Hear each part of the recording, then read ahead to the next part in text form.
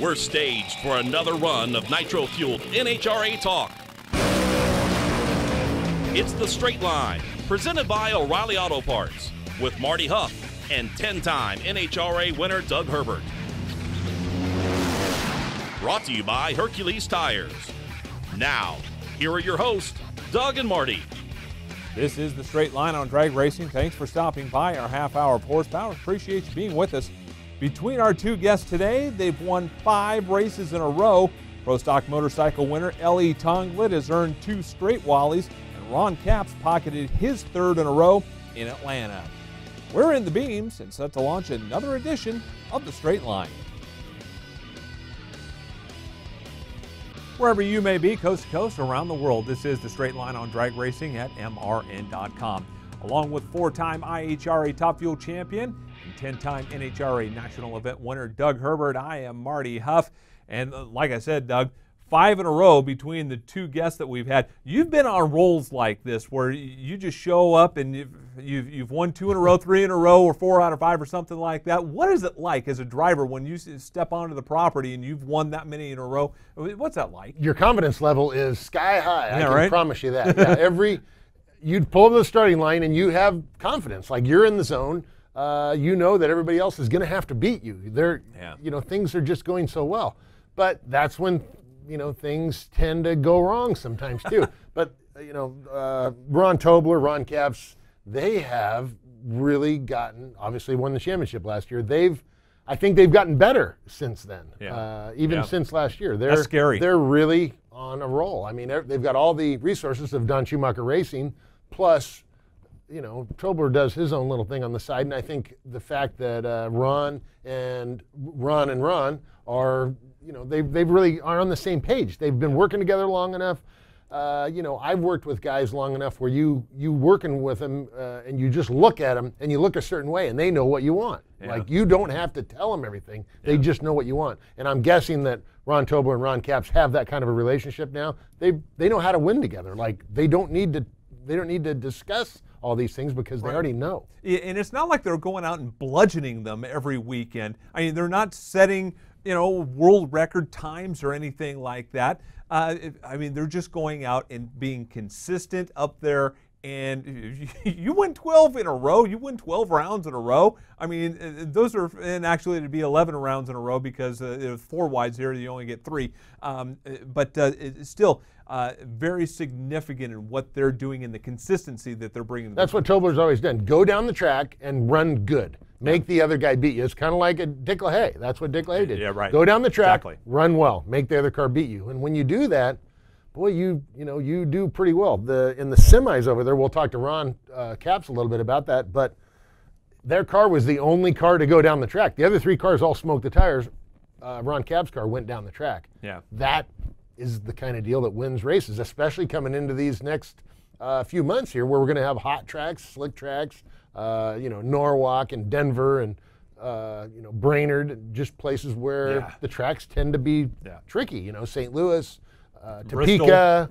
Bristol, yeah, I mean, all these are places where it gets warm during the day Yeah. and it gets tricky to go down that track. Rahn Tobler knows how to do that. Yeah, and uh, that experience factor, and you just talked about that, that relationship uh, of whether it's a crew chief or whether it be uh, people on your crew because you tuned your own cars, but when you look at somebody and, and just give them a nod, you, you, you just look a certain way and they know immediately, bang, Yeah. okay. You, Well, and the crew guys are that way too. One crew guy will be working on something, the other guy knows what he needs and hands him a wrench or hands him a tool or whatever. right. It's the way that I guarantee you their team is working like that. It's the same as Antron Brown's team. They've worked together for a long time. They know what to do before they don't even need to talk about it. They just know, and it just happens. And that's one of the reasons I think why Antron's Brown crew is so good with Mark Oswald, Brian Corradi, and uh, you know even though Yeah. a lot of the crew guys have been there a long time. Yeah. Same thing with Ron Capps' team. They have been there. They know what to do. They're comfortable working with each other. And you don't have to waste time talking about it because you just know what to do. You know what the other guy wants. and, and it's infectious because it's obvious that it, that entire attitude is permeated throughout the Don Schumacher pits. Uh, when you go to the races, all the Don Schumacher teams, whether it's Funny Car eh, or, or dragster, they are pitted side by side by side by side. Yeah. So you know it, it, makes the communication a whole lot easier. But obviously, when you get on rolls like this, um, that attitude is infectious throughout the entire team. It wouldn't shock me at all if somebody from that team, again, whether it's Antron or, or somebody else, you know, went on a roll like that. Uh, you know what? It could very well happen yeah. because they are they are that good, and it's yeah. and it's like I said, Capps. Uh, we'll talk to him about that in a minute, but he was great and consistent on the lights all day. The car was great and consistent all day. Uh, he got it done. I mean, yeah. he just flat got it done. There's no two ways about it. The guy that's been getting it done uh, for quite some time, his 53rd win uh, Uh, in his career, third in a row here in 2017. Ron Capps will join us next.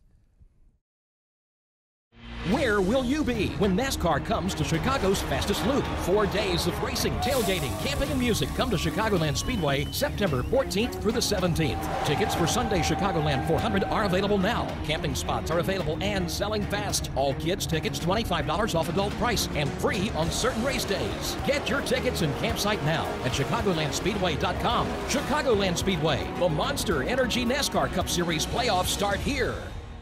Hey, this is Dale Earnhardt Jr. here. When I have friends and guests at the track who want to hear me during the race, appreciate all the hard work. I send them the Racing Electronics. Dale Earnhardt Jr. will win. That's because if you're not listening to all the action live, oh, yeah. you're missing out.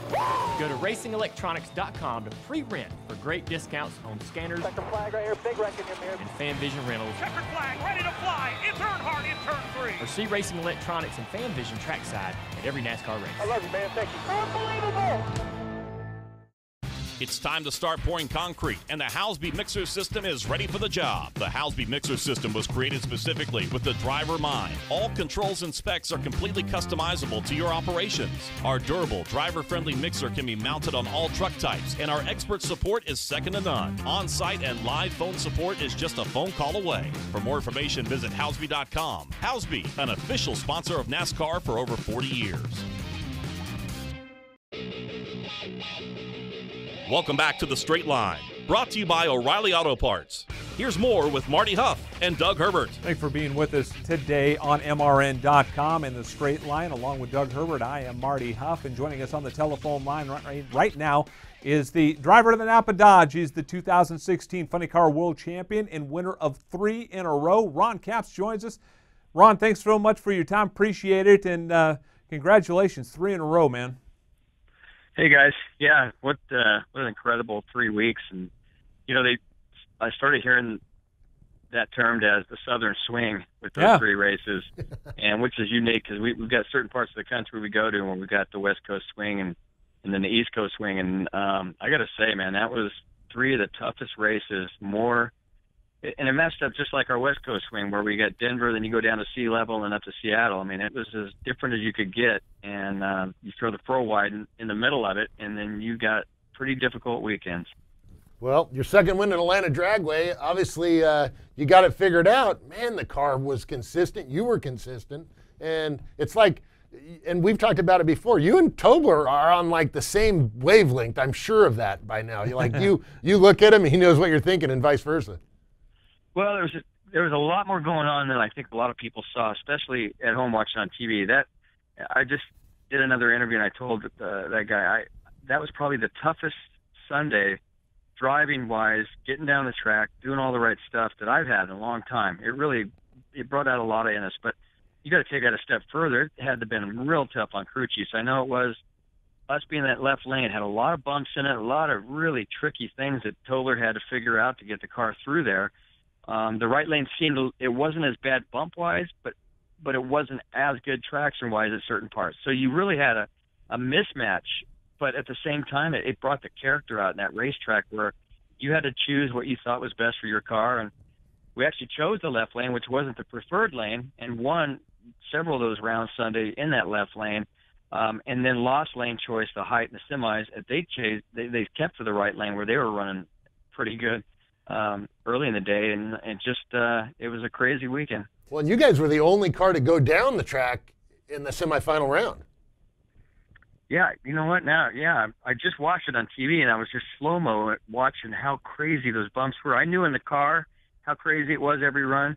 We were wearing so much clutch; he was having to to really sort of cripple or stop the clutch from wearing and and trying to lock up at certain points during the run over those bumps, and that's something you just don't do very easy as a crew chief. So at, when that's happened, it's throwing clutch dust up inside the car that almost makes it black inside.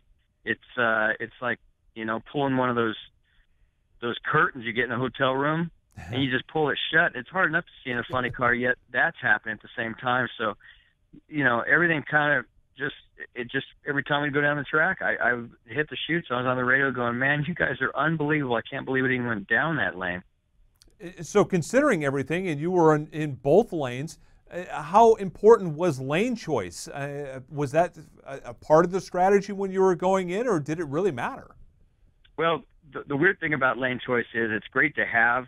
I guess most of the time, sometimes I'll be honest with you. There's a lot of tracks that are so even, you almost don't want it. You don't want to have to worry about it. Hmm. And uh, but this place was, like I said, it, the left lane was not the preferred lane. Yet we just felt like there was something. If we could, if we could just stop the clutch for a beat over those several bumps somehow. And again, it's me talking as a driver, as if I really know what's going on. um, but but I sort of know how everything works in a car from working on him all these years, so I understand what he was doing. But the methodical approach that he has with Hop, our assistant crew chief, um, and what they did to go down. And you got to remember, we also went three second runs every run on Sunday. So yeah, the yeah. heat, the humidity, the difficult conditions of the track, it was, you know, it's like those, those NASCAR guys when they raced uh, Darlington. You know, it's a, it's a full day when you got out of the car, you felt like you really did something. How about uh, Atlanta? We know is the headquarters to Napa, so I'm sure your Napa guys had to be out there at the track. There's a little bit of excitement. That always uh, not a bad thing to bring home a win for your sponsor in their hometown.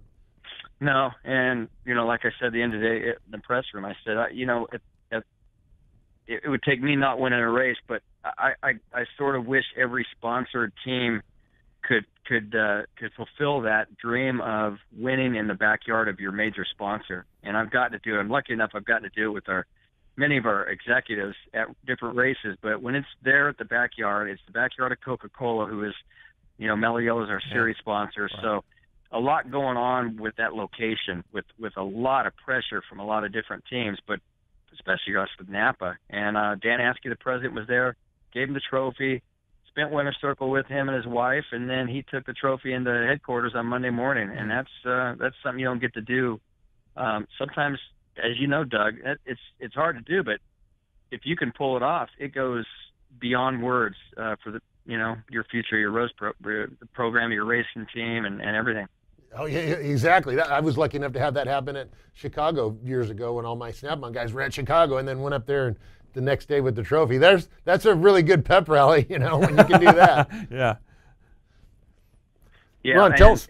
Oh, and, and on top of that, having people there at the track to celebrate yeah. with you on a Sunday, you know, from from the company, as big as having a president and vice president there. Ron, I know it's pretty early to be thinking about points, but when you're looking, I mean, you're already you've got a hundred point lead almost. That's a that's a pretty incredible uh, to have at this point in the in the season, and yeah. You know, uh, and uh, Marty and I were talking about earlier. It's like your team is good enough, obviously, to win the championship last year, so pretty darn good. And it seems to me like looking and watching what's going on, you're still getting better. That's that's pretty going to be pretty tough and maybe bad news for the rest of the competition. Well, you, we all know they're going to. I mean, Wilkerson showed that he's, you know, he's obviously he had a car that that very capable should have won the race and could have won the race.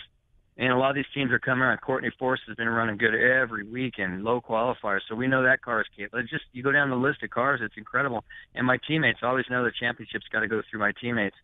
Um, yeah, it's great, but you know, you know me, and, and the approach I have is Sun or Friday when we show up in Topeka in two weeks for qualifier number three, and I'm sitting in the car. Winning the last race or even winning the last three races isn't even in my brain. Like I, I I I've been lucky enough that I, I you know, you approach every race like you need to go rounds, and uh, and we're also smart enough um, to know that you, you, we're not going to win all of them. We just got to need to try to do the best we can at each one of them because now, and it's made it even tougher to win the championship before the last race in Pomona. Like last year, we didn't win a race at the countdown, and we were consistent, and we won by pressure everybody and consistency. But now they added that new thing where Pomona is going to be points and a half. Right. So no matter what goes in, and you come out of Las Vegas in in October, it doesn't matter. You could be fourth or fifth theoretically in points going into the last race of the season, and the champion won't even be crowned until after qualifying and possibly until Sunday afternoon. So we're just going to try to keep doing what we're doing. Hey, yeah. real quick, uh, want to ask: Have you made up with Force yet? Um, he was he was not real happy with you at Char- here at Charlotte. Uh, if, if, in a long story, but um, uh, you were at the top end, actually conducting uh, one of the interviews at the top end, uh, taking the mic from Joe Casella from uh, from NHRA. Um, have, you kissed and made up? Yeah, we're always fine. Uh, he knows, you know. Listen, he a lot of stuff I do, I learn from him, and uh, taught, right. He, yeah, it's good to get under his skin once in a while, and I know how to do it, and but it's fun, and he knows that it's nothing personal, and we have fun with it and uh, we were even texting each other after that happened, uh, even before the final round in Charlotte. That uh, you know, it was all in good fun. all right, Ron Capps, winner of three in a row, 2016 Funny Car champion. Thanks so much for your time. Congratulations and good luck at Topeka in two weeks. You got it, man. Thanks, guys. Thanks, Ron Capps. Uh, right now on an incredible roll and trying to keep that momentum going towards Topeka. When we return, we will talk to the 2010 Pro Stock Motorcycle Champion and now owner of two Wallies in a row, LE Tonglet, will join us next.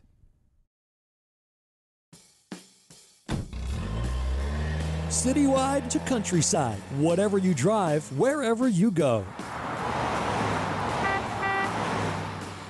Hercules Tires has the value, selection, and industry leading warranty to get you there, no matter where the road takes you. To learn more, visit HerculesTire.com. Hercules Tires, ride on our strength. In order to maximize a vehicle's performance and efficiency, the proper adjustments need to be made based on the road ahead. That's true for both race car drivers on the track and for truck drivers hauling freight on the highway. But if your truck's equipped with the Detroit DT12 automated manual transmission with intelligent powertrain management, adjustments are made automatically based on GPS terrain mapping, maximizing performance and efficiency. Don't just want better business solutions, demand them. Learn more at demanddetroit.com. This is Ashley Stremme. And I'm Steve Post. MRN's Wing Nation is hitting the road yet again to one of the country's premier dirt tracks, the Speed Palace, Port Royal Speedway. Join Ashley and I for Weikert's Livestock Wing Nation on Saturday, May 27th and Sunday, May 28th during the Bob Weikert Memorial Race weekend at Port Royal Speedway. We will be live behind the front stretch grandstands from 5 to 6 each afternoon, getting you ready for the Bob Weikert Memorial. Join us live at the Speed Palace or listen on MRN.com or the MRN app. It's the Straight Line, brought to you by O'Reilly Auto Parts. Now, once again, here's Doug and Marty. Appreciate you being with us on MRN.com in the Straight Line, along with Doug. I am Marty, and joining us on the telephone line right now is winner of two in a row. First here in Charlotte, North Carolina, where he won the four wides, and then back to back at Atlanta. LE Tonglet joins us. LE, thanks for the uh, time today, and congratulations on two in a row, man. Oh, thank you. Thank you. It's a great accomplishment. How about that? You went in there, you got low ET top speed, and on race day you had low ET of every round. Like, yeah. dude, you're on a roll, man. That is awesome. yeah, uh, we haven't had a low ET uh, event in quite some time now, and to be able to do that is it's a great accomplishment. LE, tell us about the cooperation uh, arrangement that you have with Jerry Savoie, obviously the champion from last year. Uh, you know, you guys got to the final together the you know the bikes are running good. The obviously the relationship has got to be pretty happy. Yeah, the relationship's going very good. We knew when uh, we formed this team, you know, Jerry approached us. We knew this team would be a badass team, and mm-hmm. we knew that we would win races and and get to the final round together. We just didn't think it would come this soon because my bike is all new stuff. Tim Kulungian built it over the off off season, so everything's new on it, and to be running like it is in the third race is it's a it's just incredible. Well, with that bike having low ET of every round, when you go to the final round, was Jerry say, "Hey, you know, maybe we should switch bikes"? no, he said, "Let me take that motor out." No, yeah, he, uh, yeah, I bet. He's a he's a good guy. He just wants to see both bikes run as fast as they can, and believe me, uh, I was looking at Jerry's reaction times, going, "Man, I need to step it up, or he's going to beat me on a hole shot." And uh, he had some electrical problem, and it it just didn't take off, and I got the win light. So next time in the final round together, it's going to be a, a lot closer of a race. I guarantee you that. Now, we just got done talking to Ron Capps, and he was talking about how tricky the track was, and, and he's running a nitro car. How tricky or how um, difficult was it for you on a pro stock motorcycle? They talked about a lot of bumps. Uh, there's a new piece of pavement in there. Uh, what were the challenges of getting up and down that racetrack?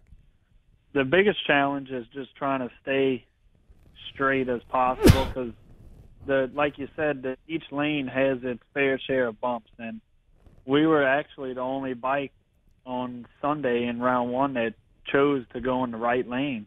We had lane choice. We picked the right lane. Everybody else went left lane, and we just felt we could get down the right lane as fast as the left lane. So it's just you got if you get out the groove, you're going to hit a bunch of bumps, and it's going to slow you down. So you just got to concentrate and stay in the group, right in the in the uh, in the middle of the two tire track. Hey LE, you were pulling about or talking about pulling up to the final and knowing that you had to get a good light, and you pulled out a good like yeah, seven thousandths from being perfect. Like you, you, uh, you were in the zone, man. It looks to like not only was were you, but your bike, every your team was. Yeah, everything's just it's going very good right now. And yeah. like I said, I pulled up knowing I had to cut a light. Tim pulled me in on the side, the crew chief for both bikes. He said, "Hey, Jerry's cutting team lights. You're at 040. You're gonna have to step it up." And uh, he gave me a couple uh, pointers to try, and it, it worked. I mean, it picked up almost four uh, four hundredths of a second in reaction time. What is uh, is 007 a little bit close for comfort, especially in a final round? Yeah, that's a little close, you know, but hey, I'll take it as long as it's green. yeah, yeah, you got that right. Uh, LE, is this the first time that you've went back to back, and how does that feel to be uh, to to go into the next race in Topeka being back to back winner at the previous two? Uh, this isn't the first time we went back to back. We did actually did three in a row in uh, 2010 when we oh. won the championship yep. that year. Yep, yep, okay, yep, yep. But to go back to back this early, it's it's a it's huge. You know, it's builds so much confidence for me and the team, and to have both bikes in the finals is just it's bad for the rest of the class because we got all kinds of confidence now, and it's going to be great. You know, we don't go to Topeka, but we do. Right. Our next race is uh, New Jersey. Well, going to Englishtown, you're the only one that can go three in a row then, so that's a that'll be a good one to have uh, on your side too. Oh yeah, we I'd love to go three in a row. Hopefully, uh, we can get to four. I've never done that before. And, and, and, right now, sitting second in points, as uh, we have the graphic up on our screen, uh, eh, that's going to give you a lot of uh, confidence as well because right now you're in between those two Harley riders. Yeah, if you look at it, the top four bikes is the two Harleys and yep. the two War bikes. So it's going to be a battle come into the year hopefully uh, it's the two Suzuki's, one and two. I don't care which position I am, as long as we're in front of the Harley. Now, LE, it, sounds like you're at work. Uh, would I be correct in that? Yeah, yeah, I am at work with my dad right now. Uh, and, and, well, uh, what do uh, tell the people for may not know um, exactly what you do because uh, you do have a nine to five job.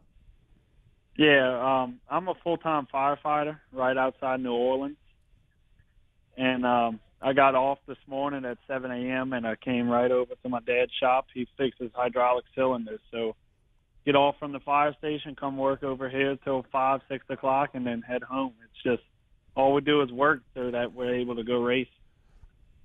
That's pretty awesome. Well, it sounds like your hard work is paying off, LE. Great job uh, winning over here these last two races, and best of luck now going to Englishtown. That you, uh, you, man, you really got it together. Really proud of you guys and your team and what you've put together.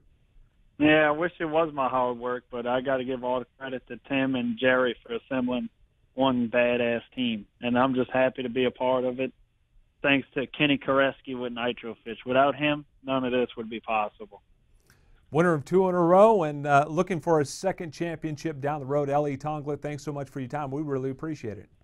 No, thanks for having me. That's LE Tonglet, and uh, when we return, we will wrap up another great edition of the show. Being there matters, and your United States Navy protects and defends America on the world's oceans. Around the globe, around the clock, Navy ships, submarines, aircraft, and most importantly, tens of thousands of America's finest young men and women are ready to defend America when piracy threatens global commerce, when disaster strikes, or when called upon by the Commander in Chief, your Navy is there. When it comes to protecting and defending America, being there matters, and America's Navy is already there. Motor Racing Network has always been your source for motorsports coverage when you couldn't be at the track. Now, never miss another minute of our breathtaking coverage with the MRN app, available on your iPhone or Android device. This free app delivers all the latest news, locates nearby MRN stations, streams your favorite programs, and is your home for live cup practice and qualifying action. Search MRN in the App Store or on Google Play. It's the Motor Racing Network at your fingertips, and it's available for free right now.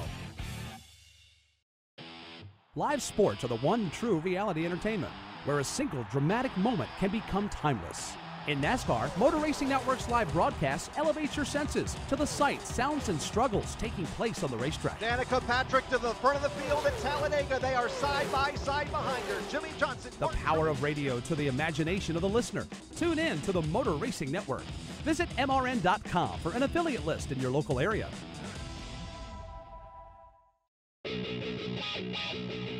You're listening to The Straight Line, brought to you by O'Reilly Auto Parts.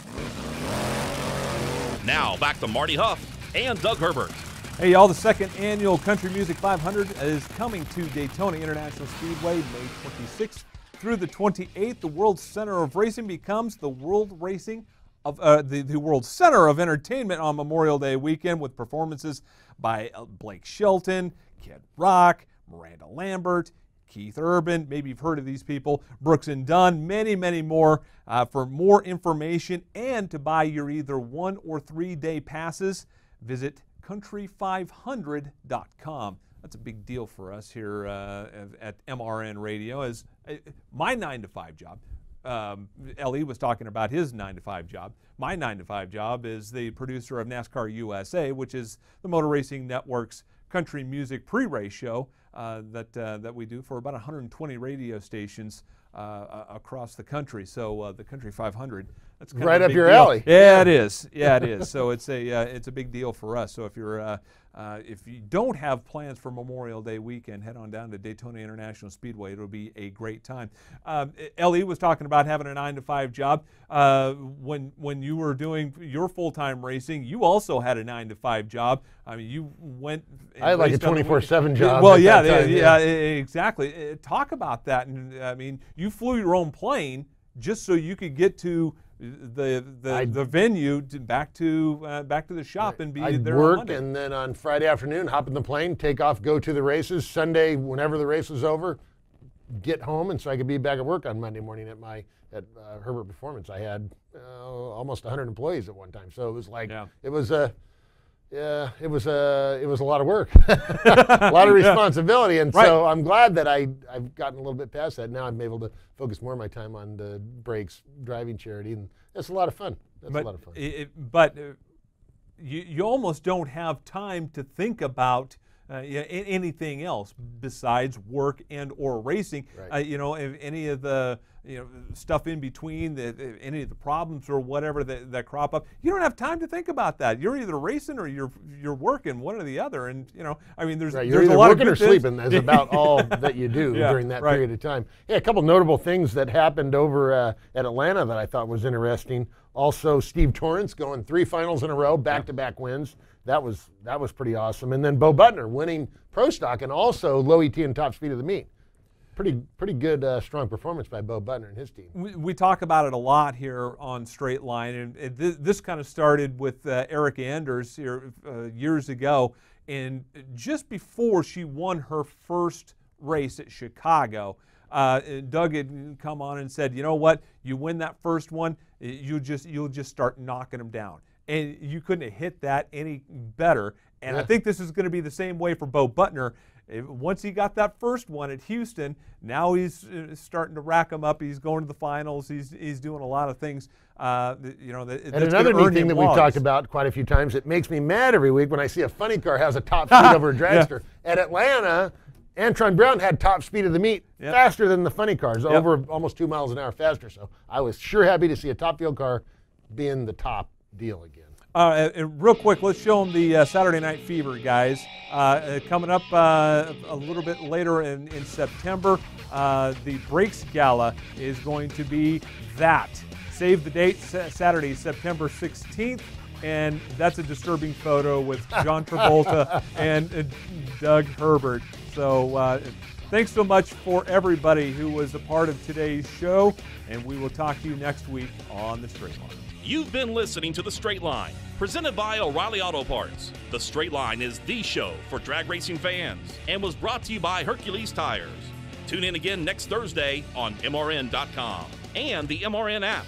The Straight Line is also available on demand in MRN.com's Media Center, on our Facebook page, on YouTube, and in iTunes or the Google Play Store. The Straight Line is a production of the Motor Racing Network.